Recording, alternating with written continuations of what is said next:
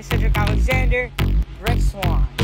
Swan, how do you feel about this match? Alright, good news, thank you.